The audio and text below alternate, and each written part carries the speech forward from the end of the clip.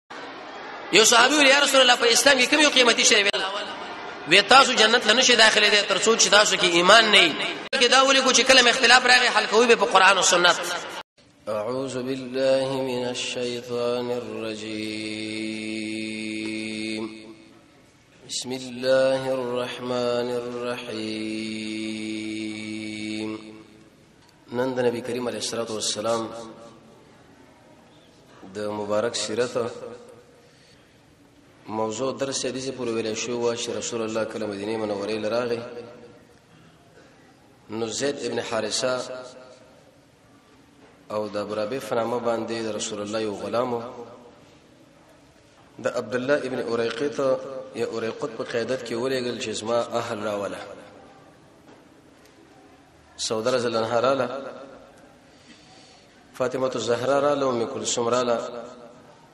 ابو بکر صاحب او دغه بچی رااله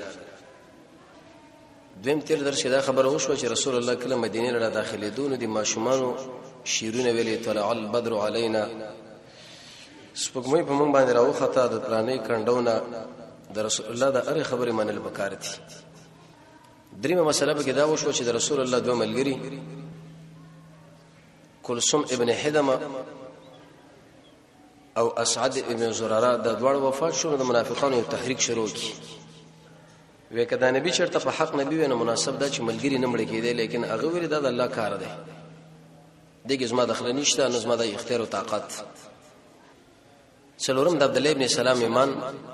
او پنځم د رسول الله یو اتنه کوټي د مسجد نبوي په شاوخوا کې درته درس خلاصو وز د نبی کریم علیه الصلاه والسلام او خیرته بیانو چې د څومره او خیر انسان دی د دنیا د څومره عقلمند انسانان چې راجم شي د رسول الله د عقل بس د زری په اندازه هم نشي رسیدي ځکه رسول الله د ټولو انبیو امام نو عقل هم دغه د ټولو انبیو نو چت عقل بهترین عظیم شخصیت مدینه منوره له کله را داخل شو نو رسول الله دوه خبره متوجه شو د شنو شکر د الله نبی مدینه لړغه نور قرار ډډه واله چې د مکه نه رااله موږ په دې کې خوبونه کوم بلکې د شپږ کاله خټول مصیبتونه دي تکالیف دي لنجې دي جنجال و مواتم کې لږه رډسبندي وشوه به چې کله مکه فتح شو دغه نور سره به امنونه رااله خلک د الله په دین کې داخليدل او به رسول الله د دنیا نه رخصت شو حدیث کې دا مرزي د الله نبی فرمایي چې څومره تکالیف په دې دین کې ما باندې راغلي دي دا شرط په یو نبی باندې راغلي دا حقیقت دی رسول الله باندې ډېر تکالیف رااله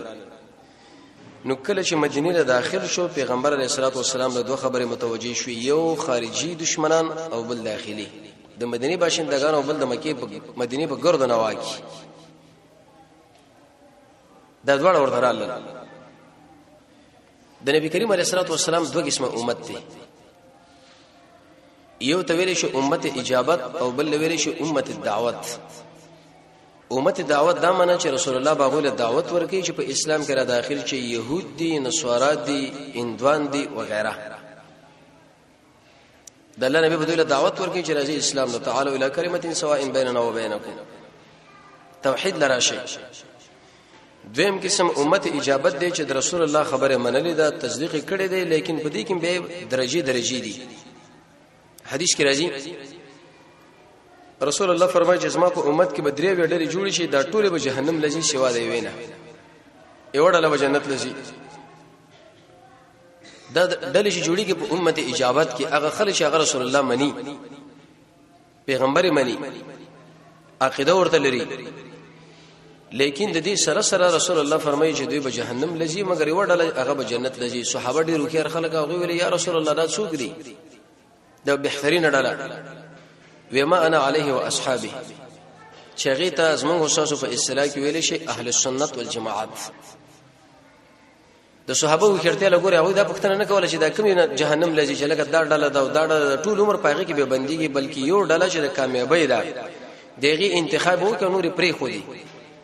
دې سره زموږ کار نشته چې هغه څوک دی او څنګه دي اهل سنت والجماعت دا چې جامع نوم دي احناف دي شوافی دي مالکین دي حنابلې دي څومره مسلمانان چې دي هغه ټول په دې کې نوم کې داخل دي موږ تاسو اهل سنت والجماعت یو لیکن د اهل سنت والجماعت یو څو علامه تاسو بیانوم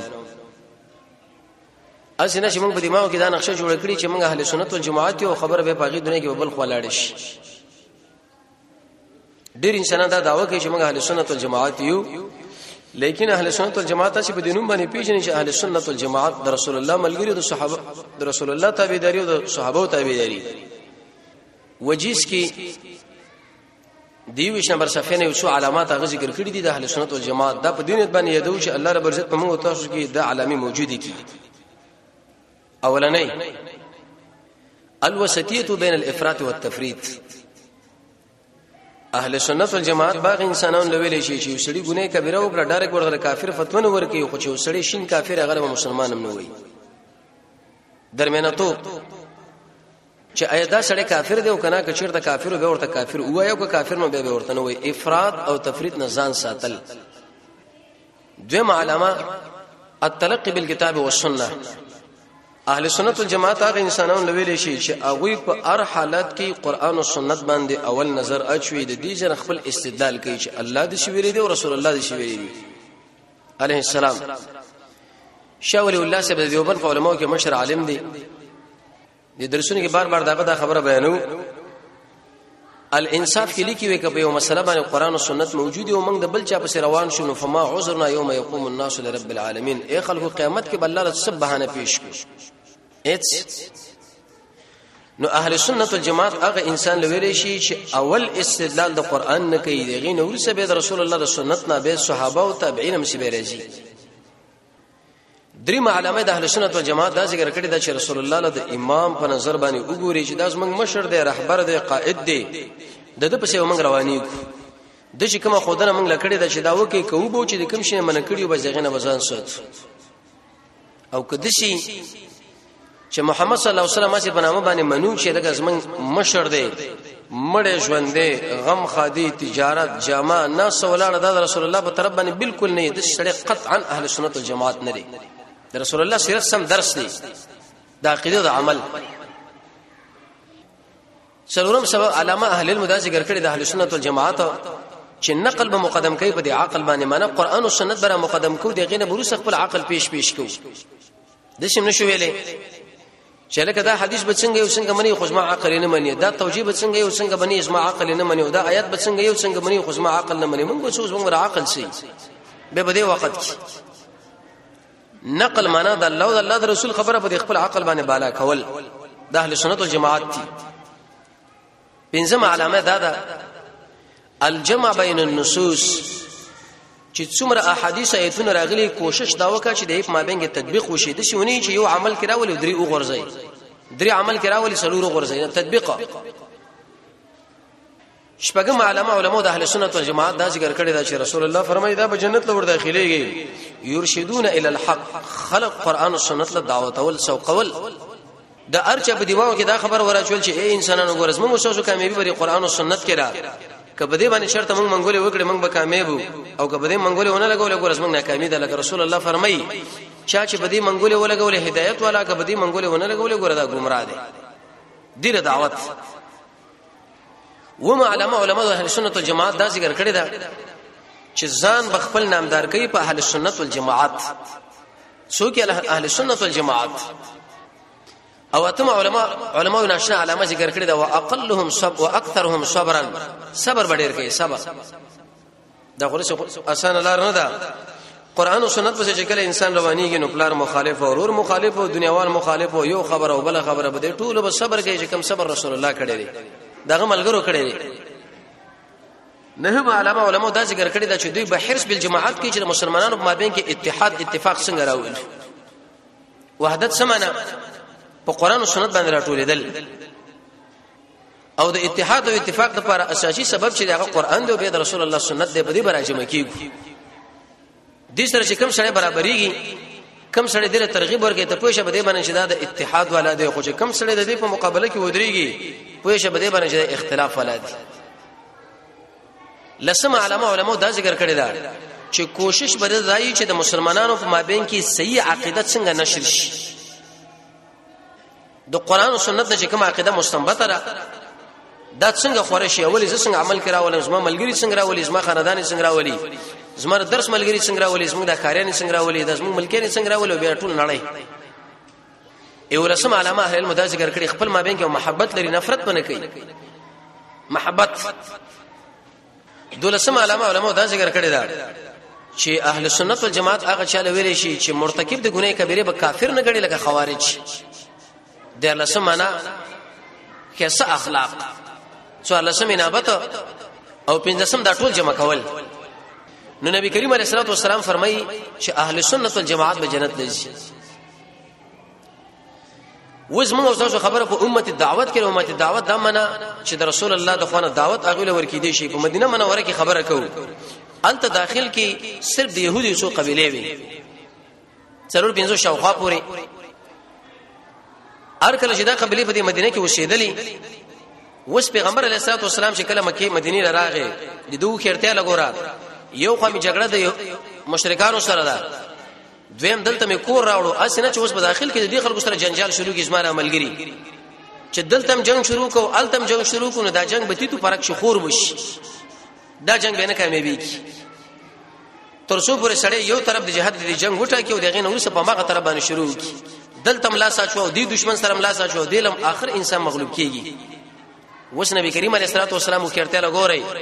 د مدینه د منافقانو د مدینه د يهودو نه وزان په طریقه باندې دفقي او ټول توجه د ملګرو مکی لاړي په بل خورواني کی لیکن د يهودو مخ کې د مؤمنانو خبره به ذکر کو د دی وجه نه شیوخ ایمان په خپل قیمتي سرمایه ده او بل د رسول الله اولنی مؤمنان ملګری زموږ استاد مشران دي صحابه رضی الله تعالی عنهم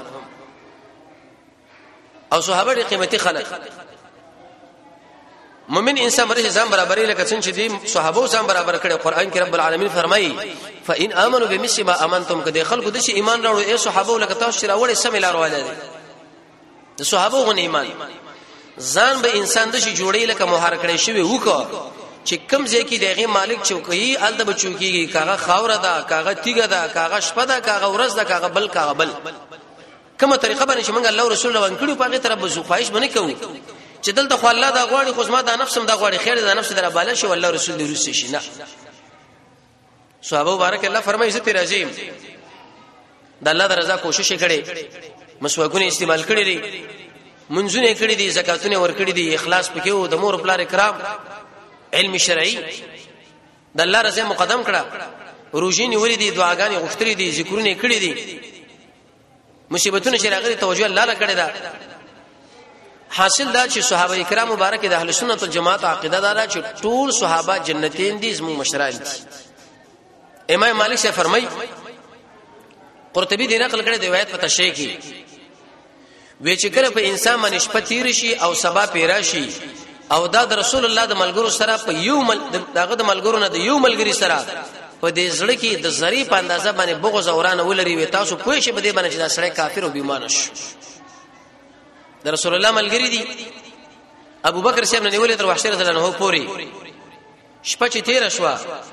سبا چې راغې او په دې کې د یو ملګری سره ستاسو ځړه کې د زری په اندازه باندې ورانه او بغض راغې نو امام مالک شه فرمایي چې ته زندق شوې بې مان شوې مالفه کې بالکل ستاسو برخه نشته ابن کثیر فرمایي وکل قول وفعل وکم یو وینا او عمل چې رسول الله د ملګرو نه نقل نه ګوره دا بدعت ته دا بدینی ده رسول الله فرمایي زماره ملګرو باره کې د الله لحاظ وکړي اکرام به کوي عائشه به فرمایي رب العالمین تاسو له ویل چې صحابه له دعاګانې وغواړي په زید دي چې دعاګانې وغواړي چې اعتراضونه په موږ شروع کړو د رسول الله ملګری په څه پیږي او څنګه له پلان دی او پلان لکه يهود او شیعه دا دوړ د رسول الله دشمنانو کلک ملګری دا غره ملګرو صحابه کلک دشمنان که يهود دي هم د رسول الله سره په دشمنی کې واقع دي او شیعه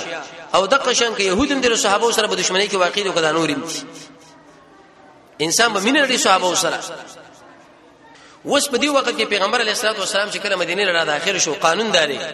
چې د خپل ملګرو هم څه تربيت کوي لکه زموږ شو دا ملګری په دې کتاب باندې راجمع شوی وي لیکن په دې کتاب کې باید دشي درسونه دوی لور کړی شي چې دوی تربيت په وشي او د ملګرو د خاندانو د بچو د زنانو ای دوی ژوندم برابر شي دشمن سره مقابله مو کی اقتصادي تربيت ته ضرورت لري خامخا سړی کور وغیرہ اخلاقی تربیت ته ضرورت لري چې په خپل مابین کې ټکر ونی کی روحاني تربیت ته ضرورت لري هر قسمه تربیت صحابه کرام ډیر ناشنا خلکو اول تربیت د صحابه الله کړي به رسول الله کړي او په خپلم د منلو والا خلکو کله چې مونږ کې د منلو صفت پیدا شو باس مونږ به کامیاب شو مونږ وګټل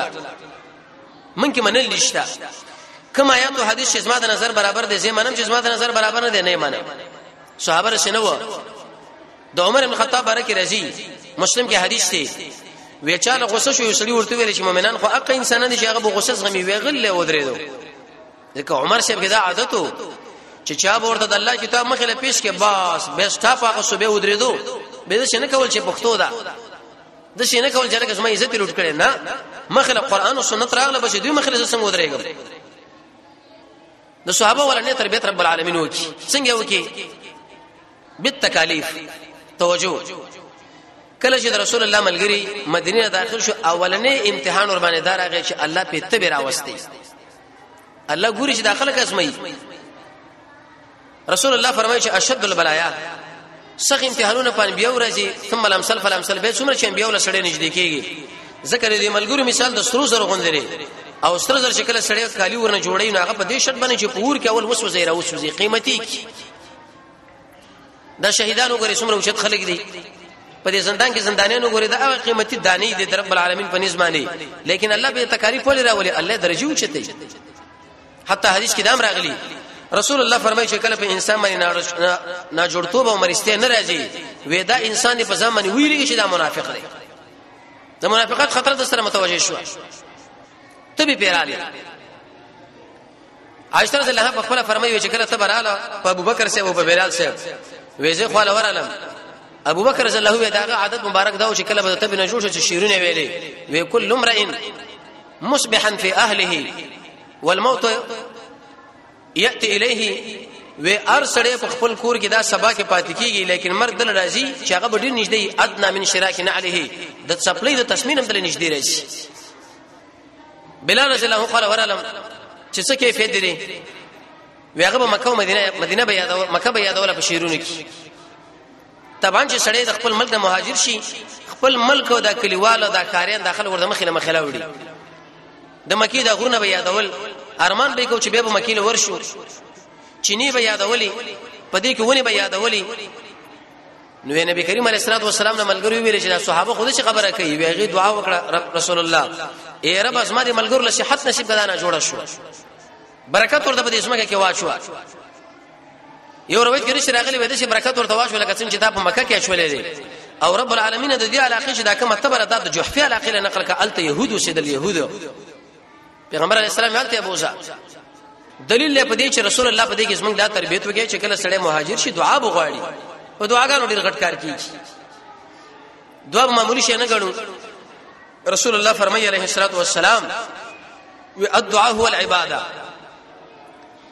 په عبادت کې اساسي مهم لوی رکن شي هغه دعا ده خو کومه دعا صحیح یو خدای اسمو ته دعا ده دعا په هغه وخت کې چې کله پکې ډیر ش آداب موجود شي اجمالی ځان سره یاد ساته اخلاص بدر کی د حرام نه ځان ساتلی د دعا نه مخکې رب العالمین لمونځ وکي د دعا نه مخکې چې مال صدقه کی د قشم به صفا جامع واغوندي مغ به قبله لواړی ګونډه به مات کی لاسونه بر اوچت کی او خاص کر تر وګو پوري د الله نمونه به یاد کی رب العالمین به حمد وای پر رسول الله باندې بدرود تکرار په دعاګانو کې کوي وقت دعا به پیژني زید دعا به پیژني نیت به دعا نه کوي الحاح به کوي چې الله خامخا به دا کار کوي تادیب نه کوي د دې په قبولیت ټول مؤمنان له دعا غواړي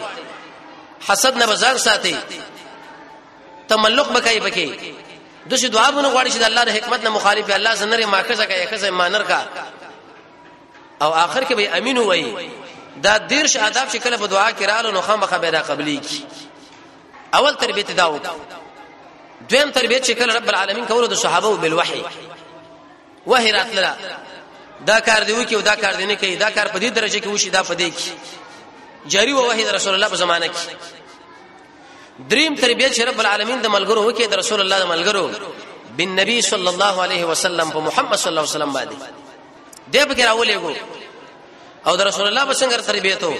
وحي ورته الله را لېګلا وو پیغمبر علی السلام او ملګری صفالو کی د رسول الله ملګری د خلکو چې کوم خبره وکړي هغه کې خدا هغه به بالکل به په عمل کې و په دې کیفیت باندې دوی تربیت را شروع شو را روان هم شي او د رسول الله تربیت خو به ذکر رسول الله تربیت چې هغه په خپل اور باندې عمل کو چې وسړی په خپل مسله باندې عمل کې به د هغه اثر ملان پر مخاطبینو باندې لګي تربیت یو تر دې اندازې پورې وشو چې د رسول الله صلی الله علیه وسلم بکم الفاظ ویل شو متصل به خلکو په عمل کې راوستو ذکر صحابو مثال د قران مثال څه لګي او کارخانه غوندي او دا موږ تاسو د شیو لګري دي هغه مصریان چې کم خلک د قران لکینی خامخا دا جوړیږي خو په دې شرط باندې چې انسان خپل قرآن له عمل په نیت ناشتي ملګریم د قرآن له عمل په نیت را دعوت کې وغیرہ اې دې خبر نور سره نبی کریم علیه الصلاه والسلام دیم تربیت د خلکو په مابین کې شروع کې احد المواخات ورور ولی دې پر مابین کې راوستا صحابه مهاجر د خپل ورو کې رونه رونه کړه د بدر د غزا نه مخکې دیو بل نبی میراث مړو یو سړی به مهاجر بل مدینه لیکن چې مړ بشو دیو بل نه میراث لیکن چې کله د بدر غزا شروع شو سورې انفال الله نازل کینو وی ویل چې میراث به هغه څوک چې هغه سره پرشته کې شریک دي بل څوک نه شي وړلې او نو بل چاله دا حق شته سعد ابن ربيع په واره کې دا راځي د عبدالرحمن ابن عوف سره دا غرور ولي شو ورته وی ویل عبدالرحمن وې زما د مال په دې کې چې کم کارا مال هغه تو والا او زما د دوه کجې دي دا دواړه کجې وګوره چې کمه وتاره کې استو بس هغه نو مال والا زبې طلاق کوم تعالی به درکم دا یو قوي ایمان غواړي ذهن لدا سوال چې صحابه دا کارول کول نور کجې نه وي نور کجې موجود وي هغه به کړي په نکاح کړي وي خدا کار د ایمان جذبه و په دوی کې چې دیله تکړه کړه دیله باعث کړه دیله تیار کړه عبدالرحمن ابن عوف من آشنا سره واغله چې ورته ونی چاله راکا مال دمرا مخه مخ کو دا زنانم خیر دی او مال راکا اوچت همت بساتی ته ملالش والا خلق نه و ورته وی ویلی وی چیرته بازار مازار شته وی آو وی دلنی علی سوق مال او بازار وکه سوق بازار د بنو قینقاع دله بوتلو کجوري ته خرچې دي چې اخلو خرڅوانو پنیر او کرت وغیرہ دا مسلې شروع کړي یو ورځ د ورځ نبی کریم علیه الصلاه والسلام ولیدو چې بلې جامه باندې د زعفران رنگ پروت دی رسول الله ورته دا ولې زعفران رنگ نارینه له استعمالول جایز نه دی وې ما خو واده کړی رسول الله ورته اول ولو بشاته موږ له ملمسته وکړه اگر کې وګډ ولې نه کجوري راوړه چرګ راوړه غوکه راوړه وغیرہ چې هر شي خو که زیاته ملمسته کې نو به موږ له پدې ګډ باندې وکړه ځکه لو راځي د پاره د اکثریت دې حدیث کې څو خبرې پیدا معلومې شوې یو ته دا خبره معلومه شو چې د صحابه ژوند ډېر به تکلف وو مال چا ویل او مال چا نه دی ویلي خلک باندې پاسه به وي په دې مړي ژوند کې پلانېس مار پلان مړي لراغه ورانه غي پلانېس ما وعده لراغه ورانه غي نه پیغمبر علیه الصلاه والسلام په جامعه کې موجود دي عبدالرحمن ابن عوف وعده کوي او رسول الله خبر کړي نه دی به تکلفي را کنه دا څوره به تکلفي ده دویم ته دا خبره معلومه شوله چې چا کې دیني کاغذ تا قومي یو کني تو سره رشتہ داری کولې شي د څه باندې شوله چې لکه تاسو ما خیل نه لري زه پلانې مو دا پلانې دی نه دیږي کې یو مهاجر دی او بل انصار دی لیکن دیو بل سره خپل ولید علی په تقوا درېما مهمه مسله ته دا معلومه شوله چې ګوره ته هم د چانه ګیلې نه کوي پیغمبر علیه الصلاه والسلام امیر دی لیکن د ملګرو نه ګیلې ونه کړ چې زم څنګه یې موفته د عبد الرحمن ابن عوف چې کله مړ کیږي تقریبا 800 میلیارډ دینار ته پاتې شو 800 میلیارډ دینار به شرعي چې اوس دی وخت د تاجر پیدا کېدل ډیر کم دویم عهد دویم دی انصار ورته ویل یا رسول الله زمونږ په دې مابین کې دغه مال دی د مال دي صحابه دي مهاجر لور کا ایثار کو تر دې پورې چې د یو چلی سر ببل کور لاړو بیا بل بیا بل بیرته بدل راغی پیغمبر علی السلام ورته وی چې د عمل تاسو خپل خو چې کله تاسو میوي پخې کېدی موږ لراکې پرې مهاجر به استعمالو ځکه تاسو پرې باغونه کې تکړای مهاجر رسول الله صلی الله علیه ورته ویل یا رسول الله دا خو هر کار کې انصار برخه اخلي د زنانو د طلاق مسله د انفاق مسله تهجد بل بل بل منګله به کې صفات شو رسول الله ورته ویلې وی چا چې تاسو سره احسان وکي یا داغه توصیف وکي هغه دوه غواړه الله به ستا اجر هم داغه غوندي کی چا سره احسان وکي جزاک الله داغه توصیف وکړو سو داغه اجر رب العالمین برابر کی دریم مسله نبی کریم علیه الصلاه والسلام تحالف الاسلامی وکي څه مطلب په دې ځای کې يهود دي کاغه د مدینه نور باشندگان دي کوم مسلمانان د دوی په دې مابین کې یو شپاړس شرطونه ولیکل د رسول الله او کړتیا لګوره د شنه کې چې دلته جنگ شروع کې والته هم شروع کې والته هم شروع کې شرط به کې دا ولي کو چې کلم اختلاف راغی حل کوي به په قران او سنت يهود مسلمانان له بالکل منافقان مې له بالکل دویم دا چې د یو مسلمان خبره دا به د ټول قوم خبره دي چې بنې چې دا پکې یو نظر پیش کې ابل بل او غبل بل د چې چې الله امن ورکړي موږ به ټول هغه امن ورکو وېدام سیدا دریم د دې مهاجر په باره کې وګوره د کم کافر سره موږ عهد او بیعت وکړو او څلرم د مکی مشرکین بدل ته موږ مدینه کې نه ساتو پنځم دیتونه و دیو بر شریک غوڅو پیغمبر صلی الله علیه وسلم له دا تربیت راکې چې ګوره ته مسلمان په وجه کې پرې دې د څه دفاع به کې لکه ما چې کړی دا داغه خبره به دومره زور پکې پیدا کوي چې د ټولو خلکو خبرې داغه په مقابل کې به د بل چا سره تړون نه کوي دشمن به کور نه راولي تر څور باندې مسلمان وځپي او چې کله دنه قتل مترو شو دیت کې پیسې ورته غوسي دی وکړه دی اندازې دی ورته تیار کړ او اخري نبی کریم علیه الصلاه والسلام خپل ملګرو نصيحت شروع کړي نصيحت څه معنا بالقران والسنه او دا رسول الله عادت مو چې کوم ځله بتلو ملګری به لګل خالد ابن ولید ابو عبیده ابن جراح اسعد ابن زراره مصعب ابن عمر دا اوچت اوچت صحابه وی قران بیان کا قران د سلام خبره ورته وکړه اول وی تاسو جنت لنه شي داخله دي تر څو چې تاسو کې ایمان نه ایمان در کې نشي راځي تر څو چې تاسو دیو بل سره محبت پیدا نه کړئ ایا د شو شته تاسو نه کېږي چې باغی مینه محبت راځي وی چې شي ورته وی سلامونه یو صحابي ویل یا رسول الله په اسلام کې کوم یو قیمتي شی وي سلام اچو که څوک پیژنې کنه پیژنې خو په يهودو وینا شوي په بدعتي وینا شوي په ګناه کبیره والا بولو براز ته شمه ته زمانه سړی ناشته پردیس زنانه چې بدنه پیدا کیږي دا وکوا اذن ورسوي چې اخلاص کوي هر عمل الله درزه لپاره کوي فضیل ابن عیاض فرمای اقا عمل بل الله قبول کی چاغه د الله د پاره او د محمد صلی الله علیه وسلم د سنت طریقې برابرۍ حسد النزان ساتي زګه دا ساسو نیک اعمال دي بربادي لکه څنګه چې چاړه په وختو راکا کې معنی دینم تخریبای مسلمان من چې مشکل لري اور سره نرم کا قرضاوی ور سره وکا حاجتونه ور پوره کوي ظلمونه ور باندې مکوي رحم ور باندې وکي قران کې الله فرمایي د دې دوه خبرو نه معلومیږي چې سړی جهنم لځي یو دا چې د الله د شاعر څوک احترام نه ساتي او دویم دا چې په مسلمانانو باندې څوک رحم نه کوي او مخلوقاتو نیک لارې ایجاد کې دعوت وکړي امر بالمعروف نهی عن المنکر کنزل مکوي حسدونه یو بل سره ساتي ما بلکې د یو حدیث تاسو ته وجو کې رسول الله فرمایي المسلم مسلمان هغه انسان دی چې نور مسلمانان داغه د ژبې نه داغه د لاس زره نه په امن کې شي نو پیغمبر علیه الصلاه والسلام چې کله راغی د خپل ملګرو تربیت په دې کیفیت باندې وکي نو را روانه چرچ مل ان شاء الله چې چیرې ژوندونه به هغه امور ذکر کو چې د يهودو سره خارج کوم وکړه او د مکه د مشرکانو سره رب العالمین د محمد رسول الله تابعداري موږ تاسو سره نصیب کړي